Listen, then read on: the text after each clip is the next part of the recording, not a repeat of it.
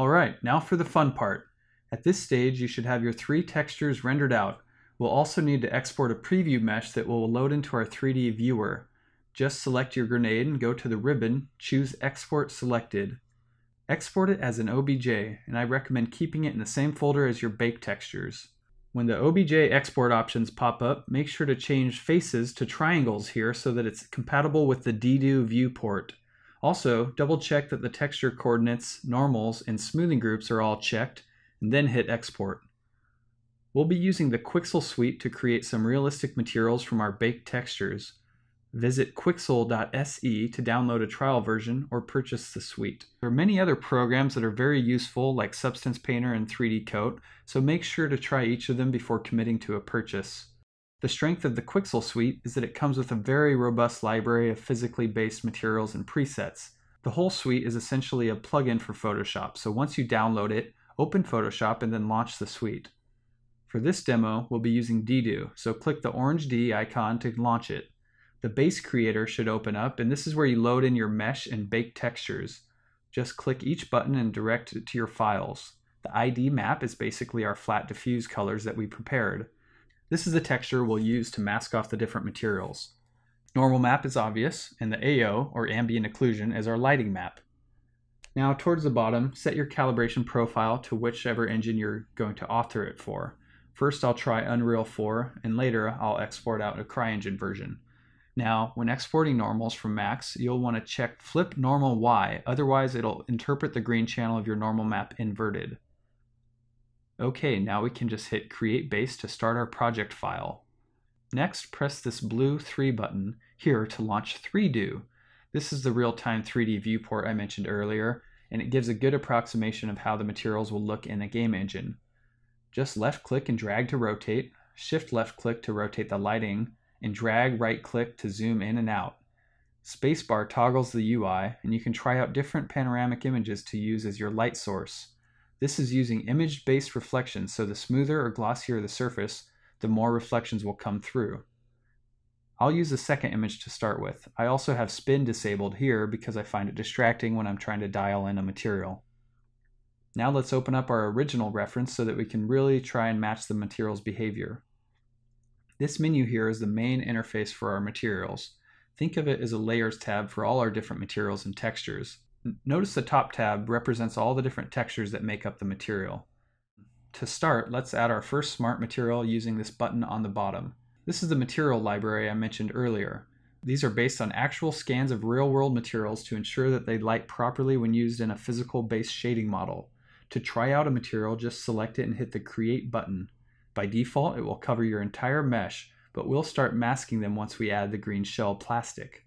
The first material I tried was dull aluminum, and it looked a little too clean and, well, uh, dull. I like the dull steel material here a little more, but we might as well try out a few more before committing. Okay, I think the stained steel has some nice dirt and rust effects, so I'll use this one. Now let's delete the smart materials that we don't want anymore by selecting the layer and clicking the trash can at the bottom.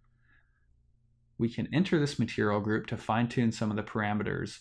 Notice we're doing this under the albedo tab, meaning this just rep represents the diffuse color void of any lighting influences.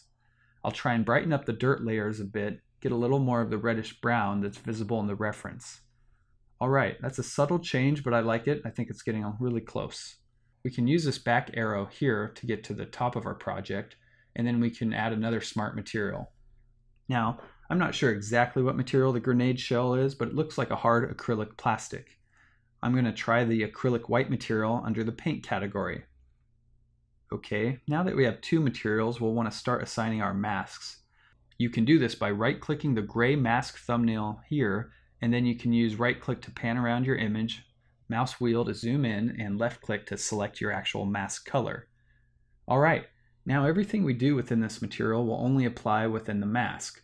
This is why we went through the trouble of assigning the flat diffuse colors to our high poly and then baking them down to a diffuse. Alright, this looks promising. So let's enter this material group and change the paint color here. The cool thing is we can actually color sample directly from our reference image. This looks close, but maybe we should sample a darker value. Okay, that looks pretty good.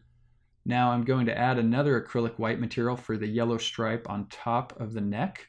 Remember, just right click the mask, select the color. Next, we enter the material and sample the color. Now, it might be cool if we add some thickness to the yellow paint. We can achieve this by switching over to our bump tab and brightening the value here. The closer to white, the more of the material will raise in the normal map. We also need to raise the opacity on this channel since it's defaulted to zero. Okay, that might be a little thick, so let's lower the value slightly. Okay, that's better. Now all I need is the little red rubber insert. Again, pick the material, set the mask, enter the material to adjust the color, and make sure you switch back to the albedo tab, otherwise your color changes won't register correctly. Okay, that looks pretty close to the original, so great job. Thanks, Jason. You're welcome. Now let's bring up our viewer settings again and check it out under the different lighting presets. One of the main advantages of this workflow is you get convincing materials that look good in a variety of light conditions. Before we export these out, we should save the project in case we need to come back and tweak any of these materials. Just go to the top right dropdown and choose Save Project. It will automatically save an XML in the, in the same directory as your textures. Next, open up the exporter here click the Set Path button to point the export to the correct folder. Then double check the calibration profile. Again, this makes sure it exports the correct textures for the game engine you're using. Then we'll hit export and we're good to go. Let's close all this clutter and then reopen our exported textures. Okay, looks like everything came through correctly. Before we export, we should open up Unreal though and start a new project. I'll just test mine out with the blank scene and name it grenade demo. Now I'll hop back into Max, select my file and export FBX and copy the folder with the textures and FBX over to the new project.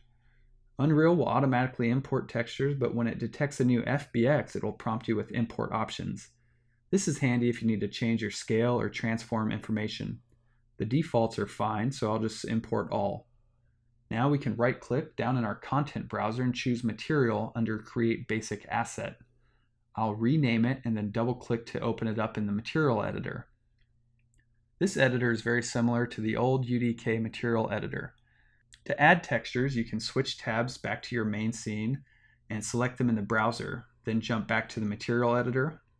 And while holding the T key, click the workspace. Sometimes it'll take two clicks to work correctly. Once your texture sample shows up, plug it into the appropriate input. Since this is the albedo map, I'll plug the RGB channel node into base color. The output nodes in order are RGB channel, red, green, blue, and alpha from top to bottom.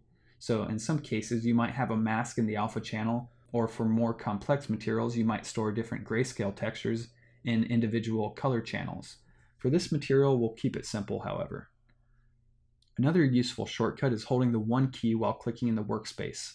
This adds a vector 1 input that you can use for numeric values. For instance, to better understand how the roughness map works, we can start with a roughness of 0, meaning the surface is perfectly smooth.